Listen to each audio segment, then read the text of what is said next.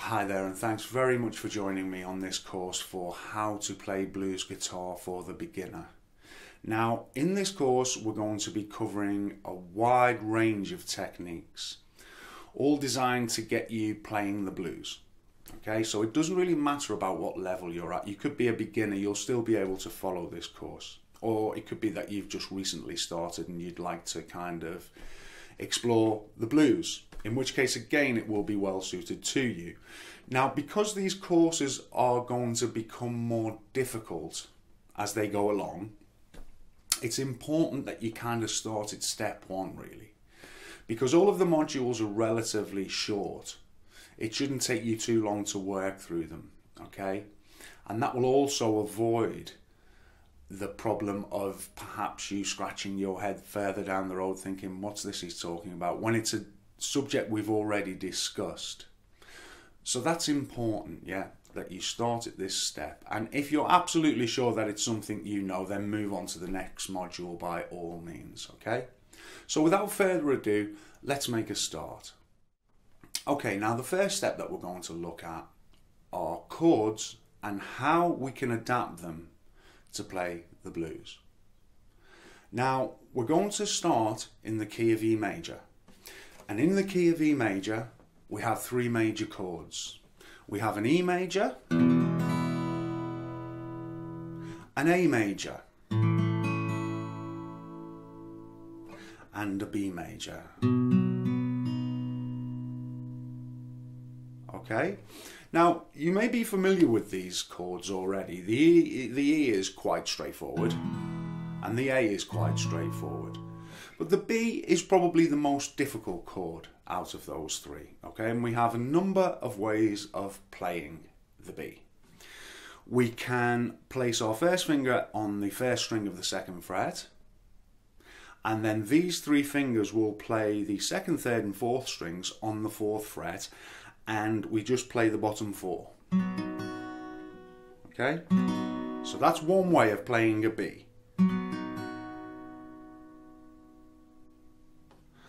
Another way of playing a B is to use our first finger to play the fifth string on the second fret and then this third finger plays the second, third and fourth just like we were playing in our previous position. Now some of you are going to find that a real challenge if you haven't done it before and the only way for that to become easier is simply by practicing it, okay? So this is the B shape that I'll move that middle finger out of the way so you can see. Okay, so that's a B. So you have this way, like I say, which is like an open B, or we have this way.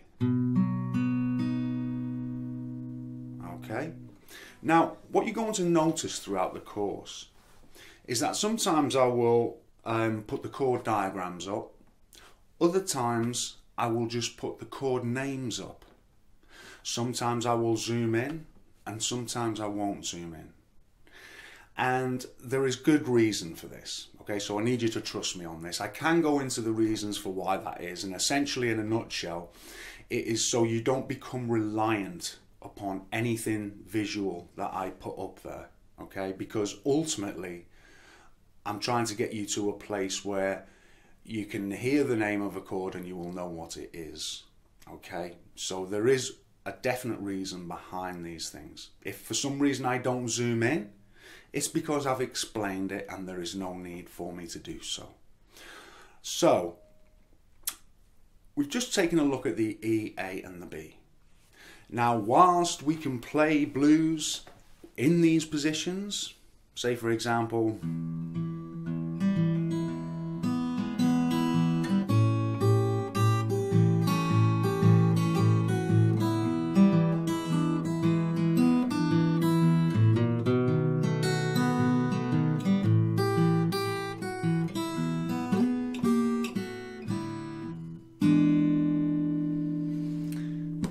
obviously we can play blues using those open positions, okay?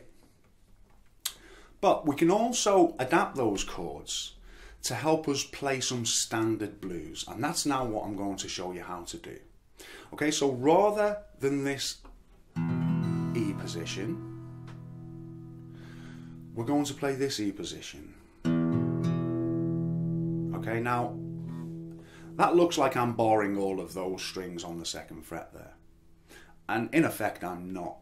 What I'm doing is I'm just making sure that the fourth and the fifth strings on the second fret are pressed down. Anything below that doesn't matter because I'm only going to play the top three strings. So we have an open E string, then the next one is fretted, and the next one is fretted. So this is our new E major blues shape, okay? Now, if you haven't played that before or used that shape, you need to understand that it will take a little bit of practice for you to get that sounding how you would like it to. Okay. So, that is our E position. And we just play the top three strings. Okay. Now, in order for us to play the A position, all we do is we slide this finger down. Okay, so we're now playing the third and the fourth strings on the second fret. That's all. They're the only ones that we're fretting, and we're playing an open A, which is the fifth string, along with those two notes. So we're now effectively playing the fifth, the fourth, and the third. Okay, and we have an A kind of Okay, that's all we're looking to do. Just play the bass part of these chords. And then for our B chord, we're just simply going to use our first finger on the fifth string of the second fret. And this third finger is going to play the fourth string on the fourth fret. Okay? And for the B, we're only going to play the fourth and the fifth strings. Okay, so we've really scaled that B down to something that we can manage, okay? So now we have an E, an A, and a B in our new blues position. Now with those three um, chords, we can begin to play a very simple blues, okay? Simply by just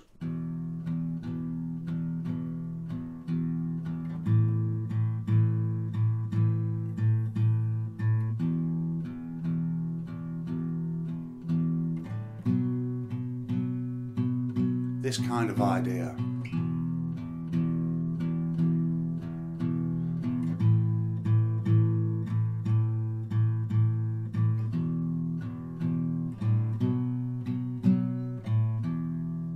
Yeah? So it's very simple, but nevertheless it's a blues, okay? And to do that, all we're doing is with this right hand we're just playing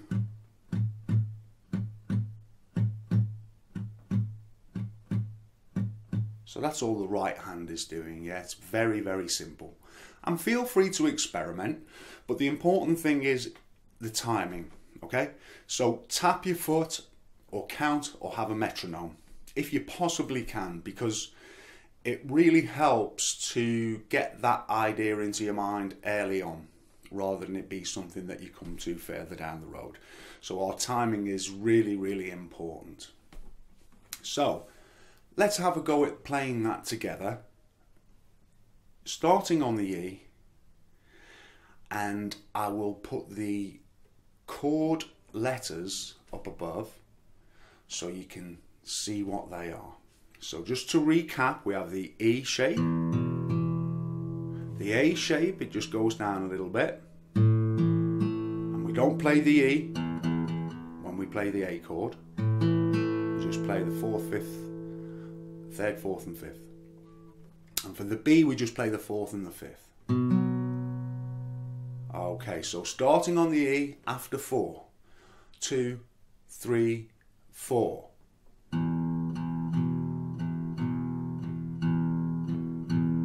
So try and get that as even as you can to the A, to E. B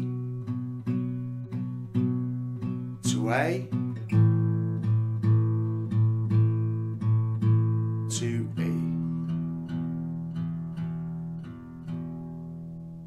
Okay, so it is a very basic blues, admittedly, but nevertheless, it has a feel, blues feel to it. One more go at that together before we move it on to something a little bit more interesting, if you like. Okay, so after four, two, three, four. E. E. A.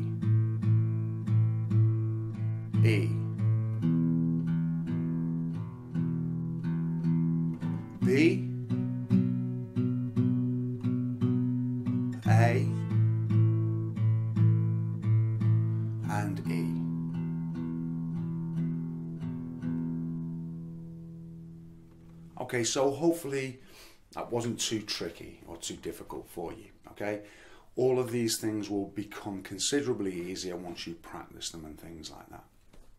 Obviously, it goes without saying, there's no magic involved in learning the guitar, as I'm sure you know. It's just kind of a question of how much you can practice. That's what it's about, really, you know. Um, there's no substitute for practice. If you're getting good tuition and you're applying yourself with the practice, then you will get there. So be patient with yourself. Don't be too hard on yourself. Right, so moving on, what we're going to do now is we're going to create a little bit more of a rhythm and we're going to use this third finger to help us. Okay, so as, as we already know, this is RE and this is RA. Okay, so what we're going to start doing now is we're going to add this third finger on and off in a kind of bluesy rhythm. So let me show you what I mean.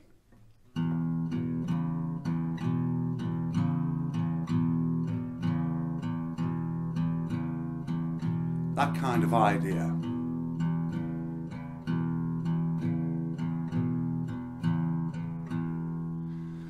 And when you go to the A, it's exactly the same.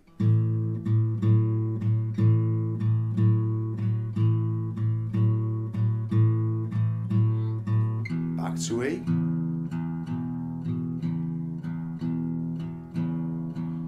And then when we go to the B, we just play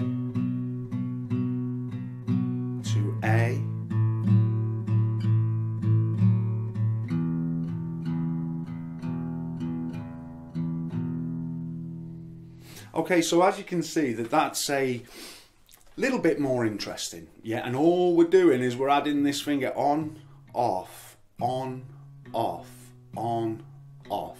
And the way that we count this so we can make sure that we're getting it right is one and two and one and two and one and two. See how that fits in when I count one and two And when I say and two, that is when this third finger goes on the fourth fret. Okay? Right, so let's see if we can try that together and we'll play it nice and slowly. Okay? So again, after four, two, three, four.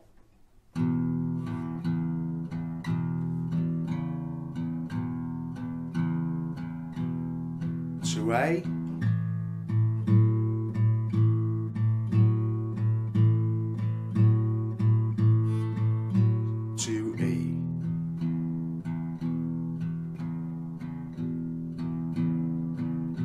B to A to E. So that's a kind of simple little riff.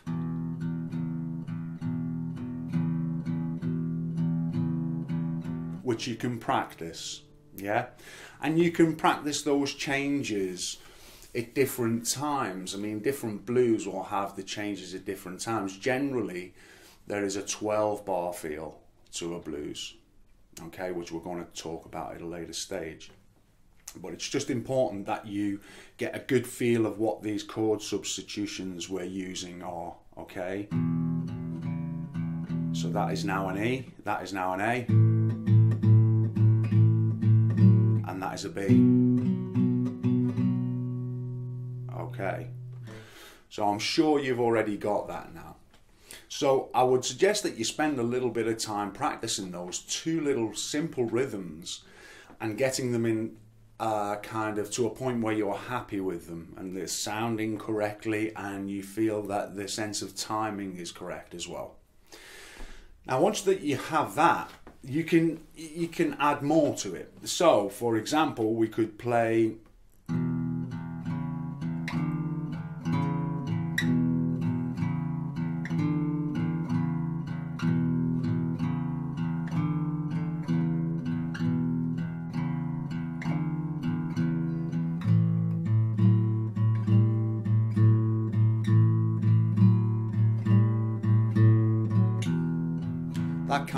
idea. And all we're doing is we've added another note.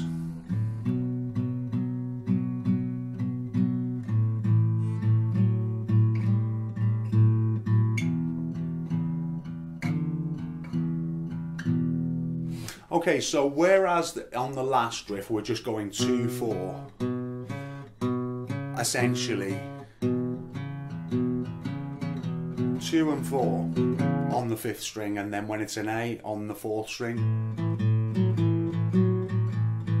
Yeah, well, with this, we're just adding the fifth fret, all right, of whatever string it is that we're going to play. Now, there are a number of ways you can do it. You can do it like I was just doing it then by using the first finger. And that third finger plays the fourth and the fifth fret.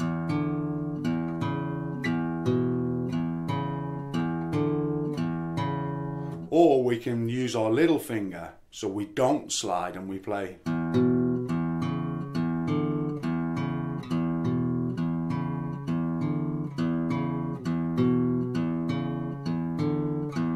Like so, yeah? Now, my guess is that you'll find that second way a little bit harder than the first way, yeah? Because this little finger naturally doesn't seem to want to do a whole lot when you're starting out. So for that reason, it's a good idea to incorporate that into your practice. So yeah, it's fine So, use the third finger like so. But it's also a good idea to use this pinky.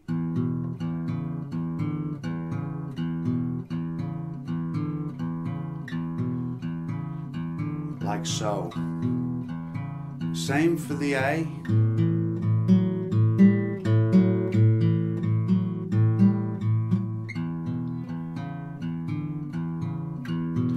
you can hear that I'm just going. On the right hand, I'm literally going.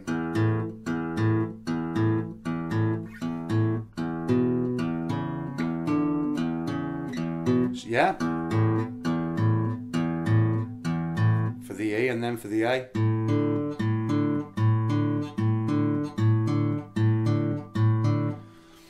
So it's not difficult what I'm doing there, yeah? It's relatively straightforward. So there are three blues rhythms that we've kind of learned, and you can now practice because the smoother they become, the better they sound, obviously. And I always suggest that you try and play them slowly to start with. And then you can build the speed up. Now, if you use a metronome, that's a fairly kind of good way to go because you can set the metronome at a kind of slow tempo and then gradually up the tempo. So you kind of get in, you know, you can play it slowly and you can play it a little more quickly too. Okay, so that really does help with the kind of speed of things. Now, I've been playing it slowly, like I say, but you once you've kind of mastered these basic rhythms, you can then play them much quicker. So you can play.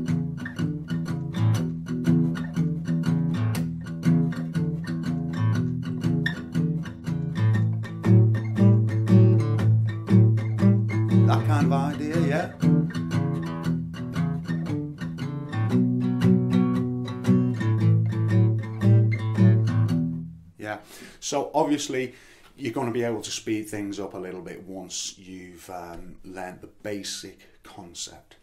Now whilst we're on the subject, we've been playing a B.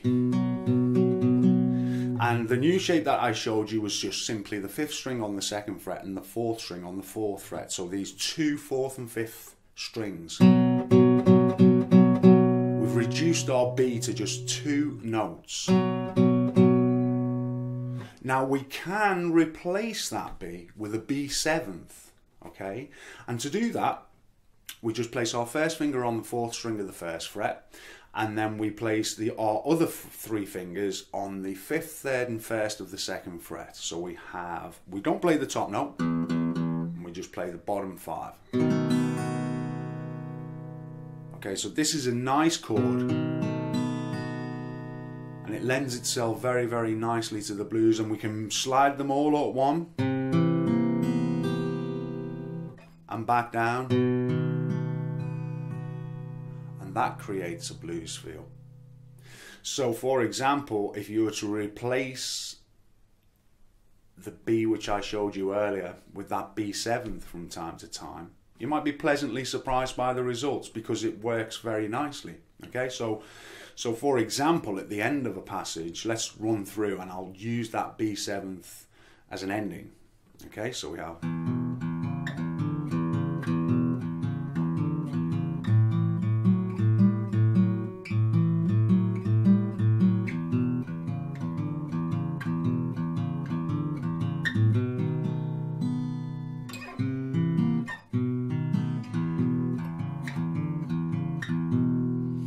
Okay, so there are various ways you can put that B7th in, and for that reason, I think it's very worthwhile showing you that chord. Okay, so that's a chord you like, might like, might like to practice. And it's just that shape there. Now you may find that those notes that you're playing on the second fret are kind of a little bit of a challenge to start with, but like I say, with everything, it does become a little bit easier the more you do it. Okay, so that concludes our first module.